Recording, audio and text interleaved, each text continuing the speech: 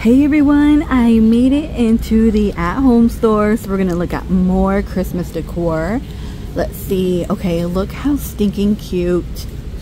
They're $15.99. They have a cute pine cone. It's like a little bear or something with a Santa hat.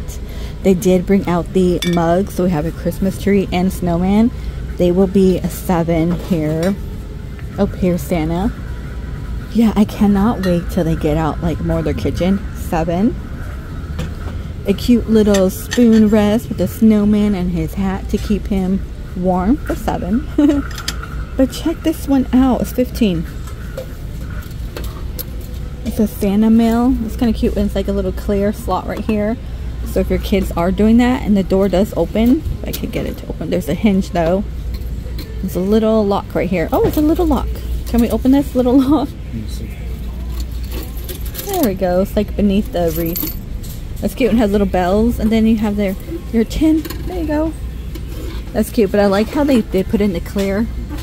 So again, children. Santa, he's like in the snow in the mountains. He needs his lantern. Oh my gosh, look at this one. What do you think of that? He is 25. This one I have not seen. He's like a skinny Santa. He looks more modern. Like a modern Santa, you know what I mean? 15. These wooden trees are my favorite. I remember like a few years ago, my Kroger had really nice wooden trees. I bought them all. They were on sale, 15 here. 35 for this chapel. And you know what? It will light up. So these windows, they're gonna light up. And 20 for Merry Christmas and Joy to the World. Snow Much Fun is $12.99. Ice skates. These are $12.99. Got Believe. And $29.99. 20 We wish you a Merry Christmas and a Happy New Year. Oh gosh. Uh, I'm ready for, you know what? I'm ready for Christmas music. There's something about it that does make me happy. It puts me in a good mood. And you know what? Christmas music helps me clean. I notice that every time I play it, I have to, I'm cleaning, like picking up. It's really weird. Eight dollars. Feel like I'm, it gets me motivated. and then 25 for joy. We have the snowman with that cute little carrot. Welcome down here is a 25, the large ornament. And the stockings were hung. That is $12.99. There are hooks there, but this one, look at this with a chimney. This is like really, really cool actually. And the snowflake for 70 and it does come with the candle.